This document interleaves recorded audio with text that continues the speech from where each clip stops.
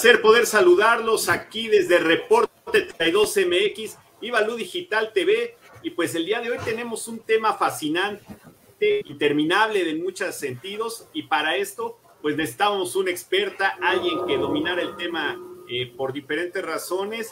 La profesora Gabriela Bautista, este, profesora, ¿qué tal? Muy, buena, muy buenas tardes. Gracias por acompañarnos y creo que hay algo muy, pues muy, muy padre, muy importante y sobre todo este, de un viaje que se va a hacer, ¿no? Que estamos ya frotándonos las manos para ya en noviembre, pues hacer todo esto. Gracias por estar con nosotros. Gracias, Pablo, por invitarte.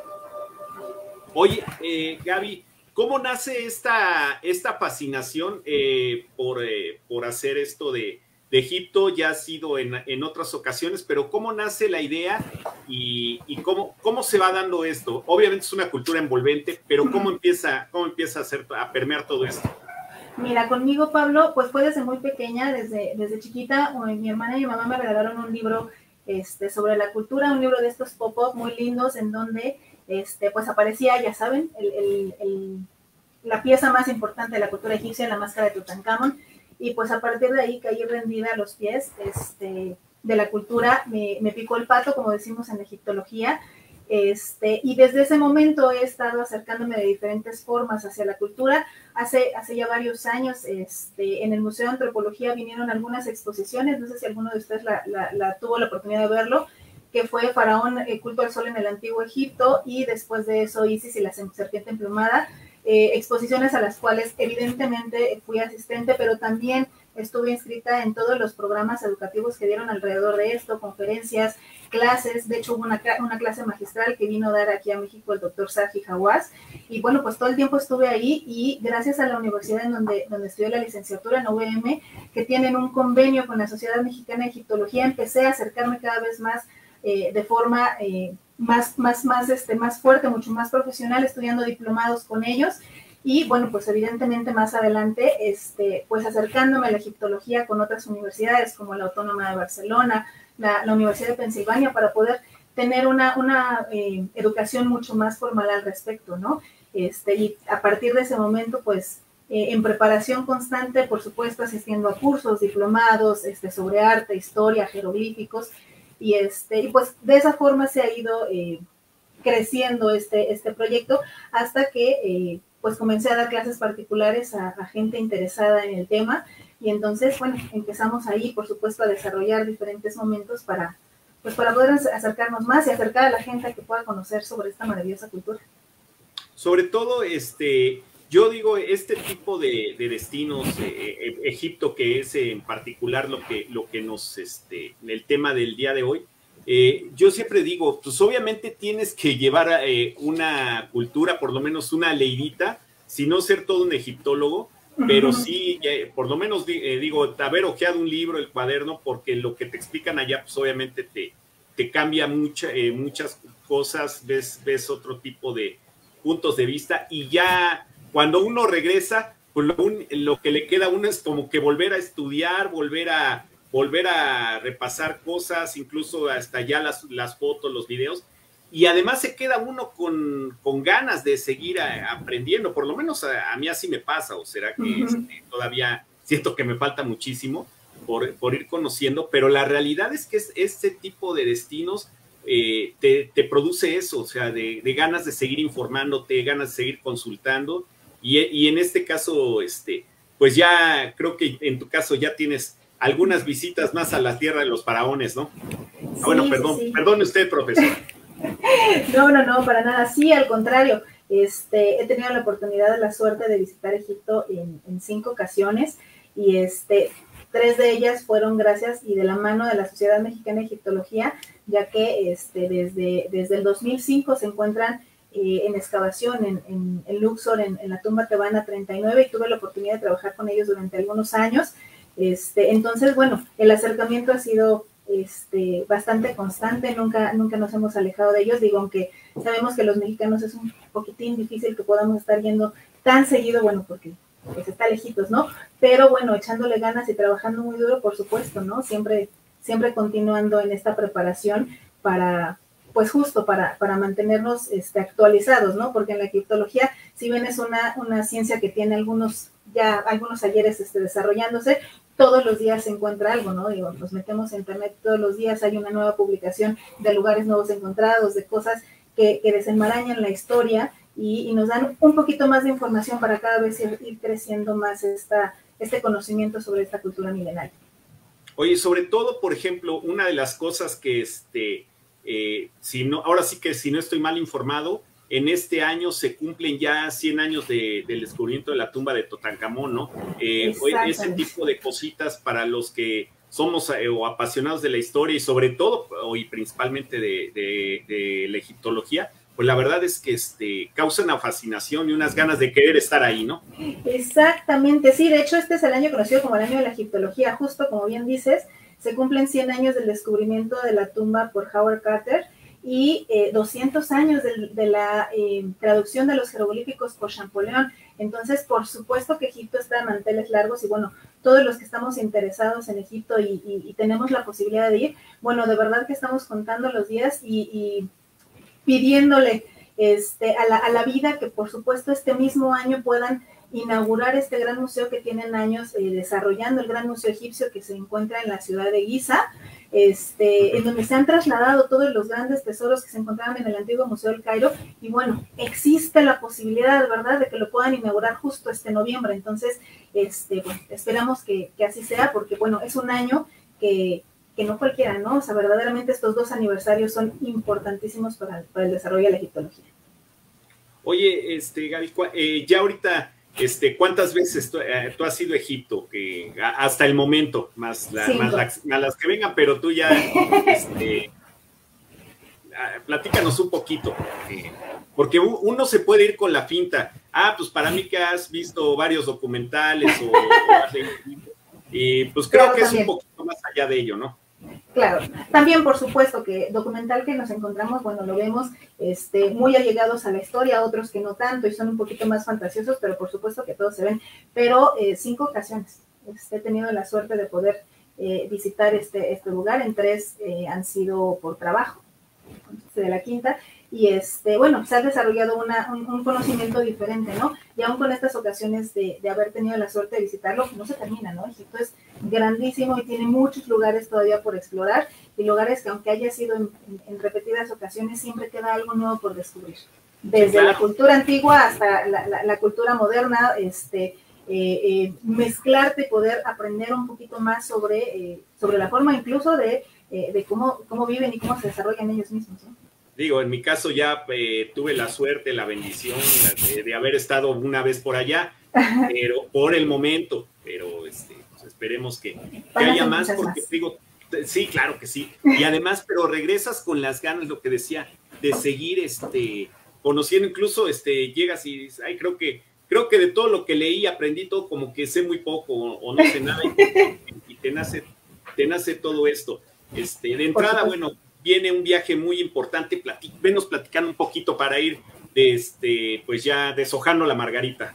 Claro que sí, mira, te platico. Abriendo, la tumba de sarcófago. Abriéndolo, exactamente. Así como Howard Carter, que fue poco a poco yendo de lo más grande a lo más este, específico, este, este, este descubrimiento tan, tan bonito, pues justo este, les platico sobre este viaje. Estamos haciendo un viaje planeado para salir de la Ciudad de México el 25 de noviembre, regresando el 18 de diciembre.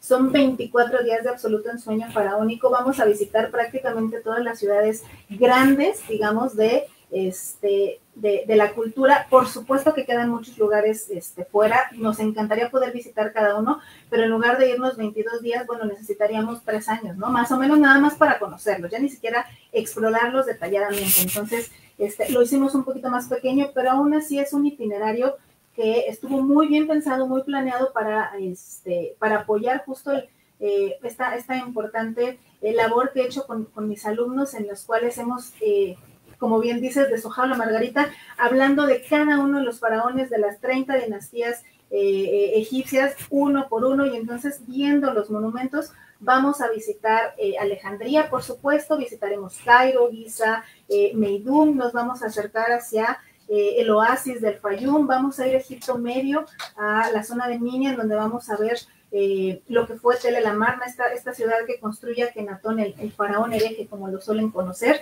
Y por supuestísimo que vamos a ir a la zona sur, vamos a estar algunos días en, en, Luxor, en donde vamos a encontrar los templos más grandes y más impresionantes de la cultura, digo, son los más famosos, Egipto, eh, eh, Karnak y Luxor.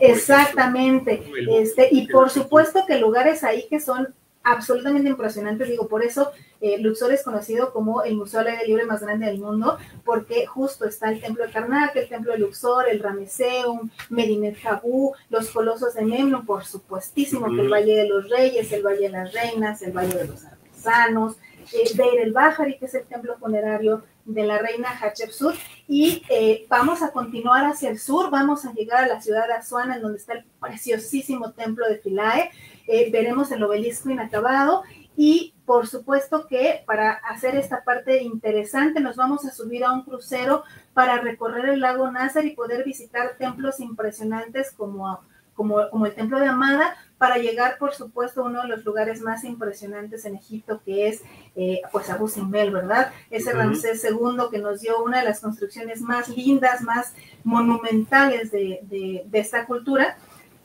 y vamos a terminar. Templo de Nefertari también. Exactamente, el templo de, de, Nefertari, que sí, justo el templo grande y el templo chico, como lo suelen conocer en Abu Simbel, ¿no? Uno dedicado a Ramsés como a Ramsés II como el dios y el otro eh, como el dios eh, eh, Ra, perdón, y el templo de Nefertari a ella asimilada como la gran Hathor, ¿no? Entonces son lugares riquísimos en historias súper interesantes y bueno, después de eso vamos a hablar de regreso a la ciudad del Cairo para de ahí brincar a otro lugar verdaderamente impresionante que es eh, eh, Jordania. Vamos a ir a la ciudad de Petra, en donde por supuesto que esos lugares encañados en la roca son absolutamente impresionantes en cuanto a sus vistas, eh, los caminos, el chic, todos estos lugares que de verdad pues nos dejan sin, sin, sin aliento, ¿no?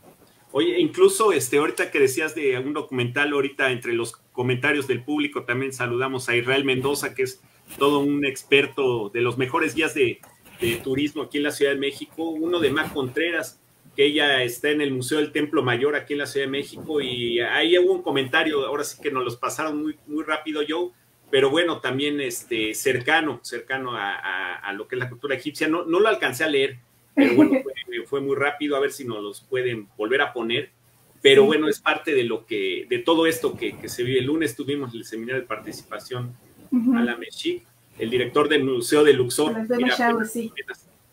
esto, esto estamos hablando del Museo del Templo Mayor. Sí, sí, sí, no, bueno, es que es, es impresionante. Además, como, como bien lo acabas de decir, bueno, como se cumplen los, los 100 años del descubrimiento de la tumba de Tutankamón y por supuesto eh, los 200 años de, de, de, la traducción de los jeroglíficos por Champollion, este, pues ahorita hay muchos programas educativos que vienen de diferentes lugares y hay muchos acercamientos a, pues a la cultura, ¿no? Para que podamos cada día aprender un poquito más, este, sin necesidad de salir de nuestras casas, ¿no? Pero si la podemos tener como, como en este viaje, bueno, pues es que es, eh, es bastante impresionante que podamos ir, ¿no? Porque Egipto, no importa si ha sido una o ha sido diez veces, insisto, cada ocasión que puedes tener la oportunidad de ir, realmente conoces nuevos lugares y descubres cosas muy diferentes. No, y, y tiene, ahora sí que tiene mucho que, son lugares que siempre tienen mucho que contar, siempre tienen mucho que transmitir. Y, pues bueno, ya aprovechando hasta ahí en Alejandría, este, pasar ahí eh, a tomarse una, eh, una, foto en el fuerte de Caibe y ahí donde estuvo este, el antiguo faro de Alejandría, que ahora es un fuerte del, del, del este, Correcto, la ciudadela de Quaitbay. Sí. sí. entonces, este, pues también son lugares irresistibles que aunque ya no esté el faro como tal, pero bueno, pues a mí cuando anduve por allá, pues sí, hasta se te eriza la piel de saber eh, el tipo de, construcción que ahí, que ahí estuvo, ¿no? Claro, ¿no? O sea, esa, ahí juega un papel bastante importante tu imaginación, ¿no? O sea, te puede contar la historia, podemos hablar del lugar, cómo es que lo describen eh, civilizaciones antiguas, y ahí entra esta, esta imaginación que, que todos tenemos en algún momento podemos desarrollar cada vez más para poder darle una imagen a este lugar, ¿no? O sea, lo que pasa ahora con la, con la, la, Biblioteca Alejandría, si bien es una construcción moderna, bueno, podemos imaginarnos cómo, estuvo antes del, gran incendio, cómo eran los rollos de papiro, la gente que estudiaba ahí, ¿no? Cómo, cómo caminaban entre los pasillos para poder eh, estudiar los grandes hechos de la historia, ¿no? Entonces, pues sí, este es es muy, muy interesante que podamos, este, que podamos eh, imaginar esta parte y bueno, podernos adentrar un poquito más en la cultura. Sí, oye, y bueno, pues hasta ahorita, ¿cómo, nació esta, esta inquietud? Porque bueno, en, tu caso, pero, pero además de contagiarlo, transmitirlo, este, envolver a, en el buen sentido de la palabra, envolver en, toda esta magia para, para, poder tener esta experiencia increíble. ¿Cómo, se fue dando? Pues Un día te despertaste, eh, ¿por qué no hacemos esto? También un abrazo a Medgar, que este padrino que también nos estuvo asesorando mucho, de es, es Egipto y egiptólogo, pero bueno, hemos tenido también este, pues, su asesoría para, para estar logrando esto. ¿Cómo, a ver, platícanos, Gaby, ¿cómo, cómo se dio? ¿Cómo se dio? Pues mira, este, aquí en México hay, hay, hay, lugares en donde, y hay este, escuelas, porque digo, por ejemplo, la UNAM, ¿no? Que de repente este, desarrolla este tipo de, de, clases en donde tienes un pequeño diplomado que te está hablando de arte e historia y que te puede ayudar y te puede acercar mucho a ello. Y durante la pandemia, justo lo que yo decía era, es que cuando yo estaba más, más chavita, cuando era yo más joven, me hubiera encantado. Bueno, hace un par de meses, un par de meses. sí, claro, más o menos algo así. Esto, mí me ha encantado encontrar más lugares en donde vieran esto, en donde pudiéramos acercarnos al tema de la egiptología, pero había poco, ¿no? Es un, es un tema, como es un tanto lejano, este, aquí en México es un poquitín escaso, ¿no? Cada vez hay más iniciativas de diferentes universidades que nos, que nos acercan a ello. Entonces, justo en, durante la pandemia, inicios de la pandemia 2020, yo dije, es que esto me hubiera encantado, ¿qué tal que, este, que empiezo a trabajar en un programa, un pequeño diplomado en donde podamos hablar de ciertas partes de la historia egipcia, ¿no? Y entonces empecé a trabajar con esta parte del diplomado y algunos amigos conocidos que este, hasta hace algunos años eh, estudiaban eh, arqueología y etnología en el Museo de Antropología, me dijeron, oye, está padrísima la idea, ¿qué tal que nos das la clase ya que la tienes preparada, no? Y entonces empezamos justo a reunirnos eh, de manera virtual, porque bueno, durante la pandemia hay muchas cosas que se detuvieron, pero bueno, se nos desarrollaron para los que no tenían y en algunos casos crecieron estas habilidades digitales, entonces empezamos a conectarnos todos los lunes por la mañana a platicar sobre, eh, sobre la cultura egipcia, ¿no? Y empezó siendo un pequeño diplomadito, unas, unas cuantas clasecitas donde hablábamos de manera general, hasta que llegó un momento en que dijimos, ¿y qué tal? que hacemos un repaso puntual de toda la cultura, ¿no? De toda la historia egipcia. Bueno, y entonces este pequeño sueño que empezó como un ¿y qué tal que platicamos de eso? Lleva un año en desarrollo. Cada lunes religiosamente nos reunimos para platicar sobre, sobre historia y arte egipcio, de egipcio y este, viendo cada uno de los faraones, cuándo fueron los años que reinaron, qué fue lo que hicieron, qué construyeron, cuáles eran los problemas políticos y sociales que se encontraron durante su reinado, ¿no? Entonces, pues así, así fue como surgió el viaje y lo mismo, ¿no? A la mitad de, este diplomado, de este viaje por la historia, me dijeron mis alumnas, oye Gaby, ¿y qué tal que vamos a Egipto? Y dije, muy bien muchachos, ¿qué tal que sí, no? Vamos a platicar, vamos a ver cómo está esto, empezamos a, a, sondear cómo nos iba, oye, pero pues es que la pandemia, vamos a retrasarlo un poquito, originalmente querían que fuera para, para finales de 2021, pero bueno, pandemia, entonces, bueno, vamos a retrasarlo y bueno, por fin decidimos poder ponerle fecha y entonces quedó para finales de 2022. Eh, un poquito a propósito, esperando y deseando a la vida que para esa fecha que nosotros fuéramos ya hubieran inaugurado el Gran Museo Egipcio.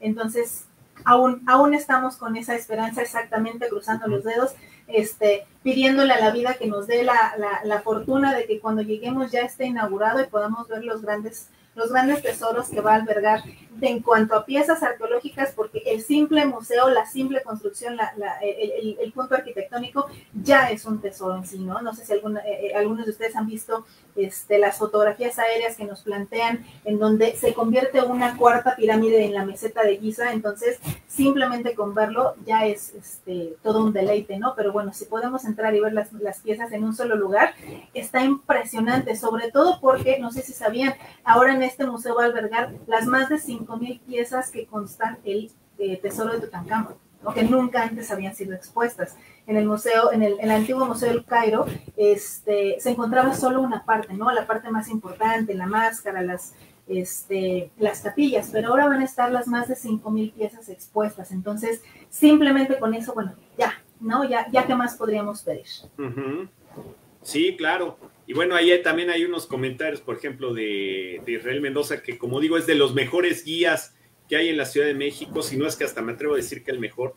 Eh, la verdad que, eh, ¿por qué no hacemos algo del muralismo mexicano también? Claro, pues, todo ahí inició en el centro histórico, lo que era la Escuela Nacional Preparatoria, pues todo pues, eh, sería muy interesante hacerlo, pero bueno, para no desviarnos del tema, Gaby, este... Sería buenísimo. Podría, podría pensarse alguien, oye, pero es que a lo mejor es para, para gente muy, muy de nivel avanzado, eruditos, casi casi egiptólogos, para este viaje, pues yo digo que sí, pero no tanto. Para nada, para nada. De hecho, eh, gran parte del grupo se conforma con adultos mayores, ¿no? Este, señoras que eh, acudían a clases al, Museo de Antropología y, este, y, es gente que en su vida había estudiado absolutamente nada relacionado con la egiptología, pero eh, al empezar a platicar un poquito sobre eso, como te digo, en la egiptología decimos, es que te picó el pato, ¿no? El pato es un, e, e, es un elemento muy, muy, de hecho en la foto que vemos ahorita se nota, el pato tiene eh, una, una, relación en jeroglíficos como el hijo de, ¿no? Y cuando tiene el círculo, el, el, disco solar a un lado es el hijo del sol. Entonces mucho se habla de eso, ¿no? Si el pato te picó, entonces vas a quedar anclado a Egipto por el resto de tu vida, ¿no? Y eso fue lo que sucedió.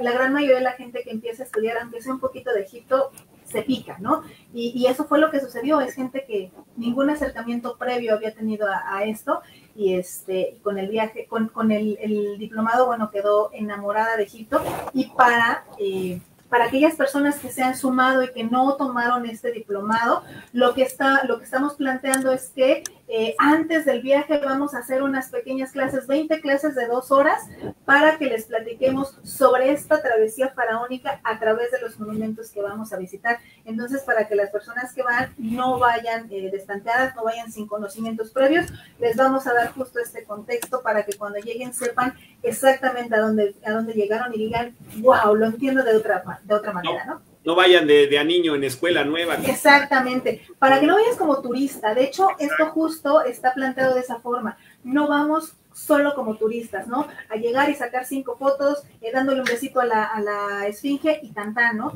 No realmente vamos a conocer. Exactamente, claro, no, no, no, pues aquí Vamos a conocer la parte histórica. Sí, que, es, que esa es la, la intención, que sea algo que, que deje una retroalimentación mucho más, este, mucho más profunda, Gaby.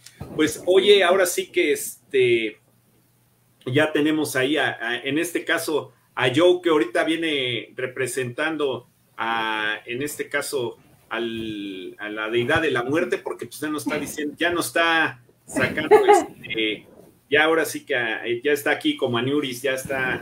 Ya vino como Anubis a decirnos, Anubis, pesa tu corazón en el juicio.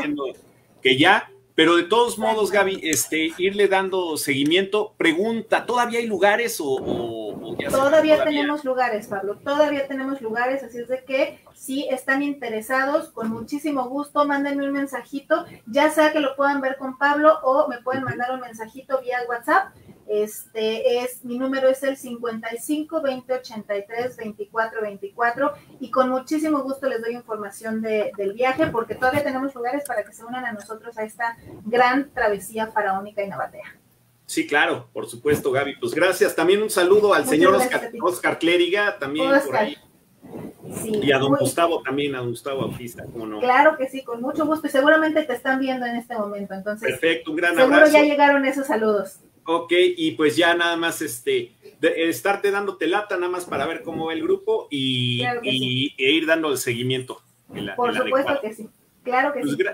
gracias, gracias Joe y recuerde, vive viajando y viaja viviendo. Hasta la próxima. Hasta la próxima, Pablo.